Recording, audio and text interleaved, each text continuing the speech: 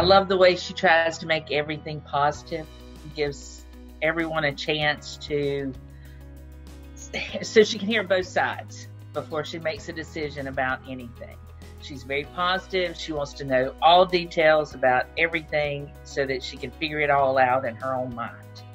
Um, she doesn't really want to take any word of anyone else until she knows for sure.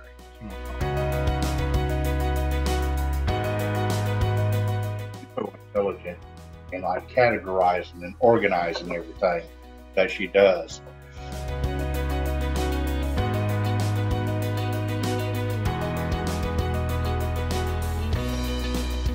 The most that I'm proud of is when she was chosen as student ambassador to Rowan Cabarrus Community College. And she was their student ambassador, but then it was to represent her high school, which is the early college. So technically, she was student ambassador for two different things.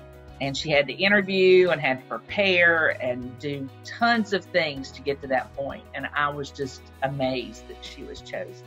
Wasn't surprised, but was surprised, but amazed.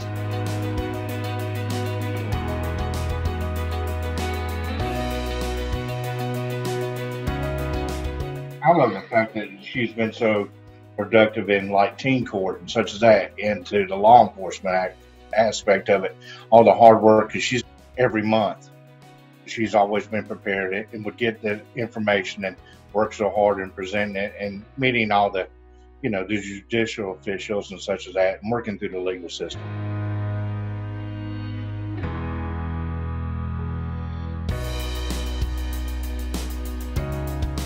Been very proud of her two different internships that she's also done this year with uh, Rowan Museum. She loves anything about history, so she has jumped on that opportunity. She's been involved with Rowan Museum since fifth grade and loves it. And she has been an intern at Davis and Davis Law Firm. And she had the best time. Of course, it ended early because of this crazy thing we're going through right now, but she loved every minute of it. So very proud that she was given those opportunities.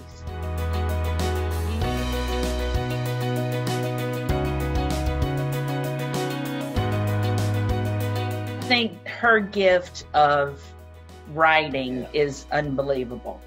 She loves to write short stories. She's working on a novel or two or three or four. Yeah. I'm not sure how many.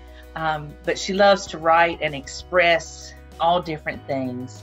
And when she sits down to write something, a specific subject, it just blows me away with how she just knows how to do it. And I think God will definitely use her talents of writing in the future to write and inspire others. That's just, I just believe that. I truly believe that.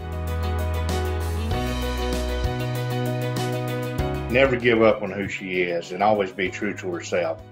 That, you know, she's wonderful. I mean, we tell her that all the time. And, you know, she, oh, I'm not all that. Yes, you are. You, you know, you are wonderful. And I think people see that. And, you know, hopefully people realize how wonderful of a young adult that she is and is becoming more and more every day. Just wanted to be herself and continue being this way and just love God, love her family, and love her friends, and just enjoy life.